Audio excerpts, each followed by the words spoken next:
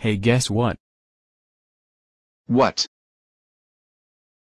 I am going to join the military, the army or air force. You going to fly the unfriendly skies over Afghanistan? That isn't funny.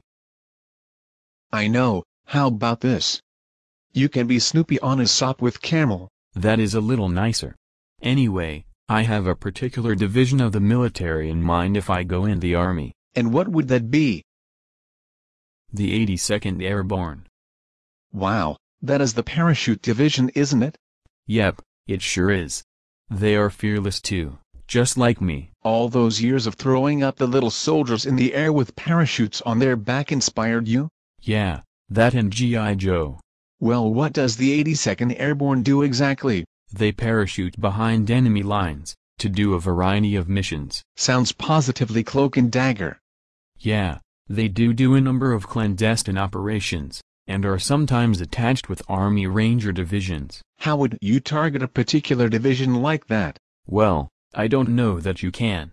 You have to go to jump school, then you could put it in as a request, but basically you have to cross your fingers and your toes. You have to have a good record in jump school and be fast, because the 82nd Airborne is fast-paced. You also have to stay deployed three out of four years. Talk about dedication, hats off to you man. Thanks man, maybe I'll bring home some good wine from when I parachute into France. You still fight in World War II? Nah, up with the times man, unfortunately. Well, you take care and I hope you get into the 82nd Airborne if that is what you want to do. Hey, and don't worry, if I can find a good bottle out there somewhere in the back country I will bring it to you. Thanks man, you are the best.